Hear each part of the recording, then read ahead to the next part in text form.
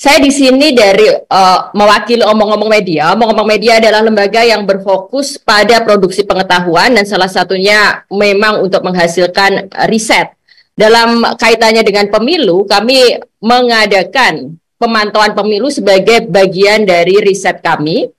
Dan metodologi yang kami uh, gunakan jelas uh, pendekatan kualitatif dengan mengamati, wawancara, mendokumentasikan baik itu rekaman suara, foto, video, Lalu kemudian nanti kami sebenarnya sudah merencanakan akan menerbitkan analisis komprehensifnya atas semua data-data ini. Jadi yang saya paparkan hari ini uh, ini aja apa awalan aja, awalan dari data yang kemarin sudah kita kumpulkan. Jadi pemantauan kami dimulai satu minggu sebelum pemilihan dengan pemantauan intensifnya H-2 sampai H plus 1. Daerah pemantauan kami di enam provinsi 17 kabupaten kota. Jadi itu masing-masing ada di Jabodetabek, Jawa Tengah, Jawa Timur, Bali, Sulawesi Selatan.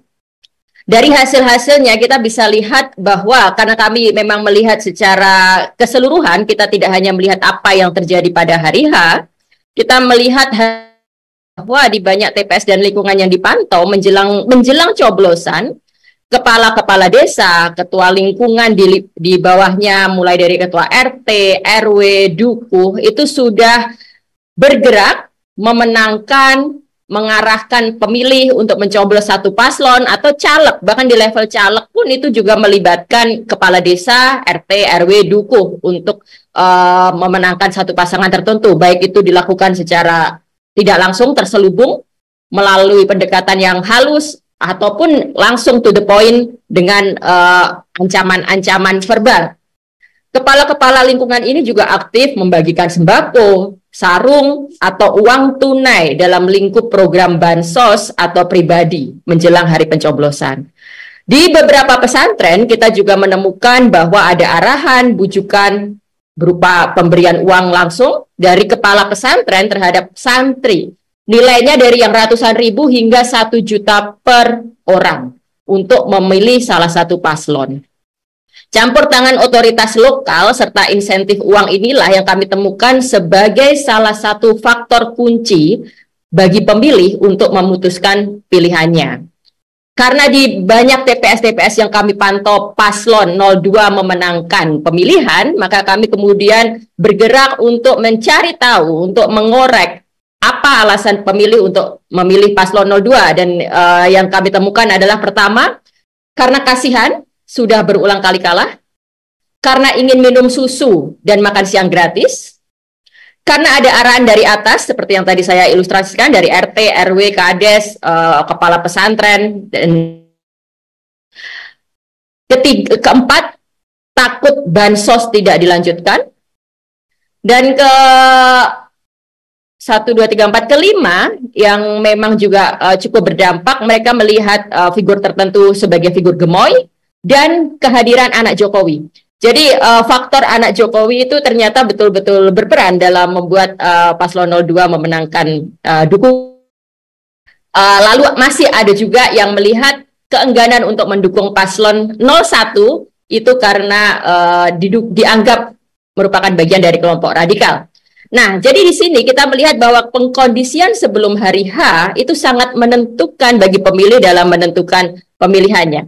Jadi bagi kami yang memang fokusnya tidak sekedar soal elektoral pemilu tapi pendidikan politik, kami menyimpulkan bahwa sekarang ini kita membutuhkan siasat baru bagi kita uh, dari sektor civil society maupun politisinya, calon presidennya dalam melakukan diseminasi gagasan, ide agar sampai ke lapisan masyarakat uh, luas, grassroots, mereka yang mayoritas. Sehingga dalam mem, me, melakukan pertimbangan memilih itu tidak melulu karena diarahkan, karena tidak melulu karena uang, bansos, tapi lebih substansif, uh, meritokratif, menghindari politik uang, dan tentu saja bagaimana memastikan agar intimidasi-intimidasi di lapangan itu tidak tidak terus terjadi karena intimidasi dan ketakutan politik ketakutan ini juga juga yang berperan besar bagi uh, para pemilih dalam um, me menggunakan hak pilihnya.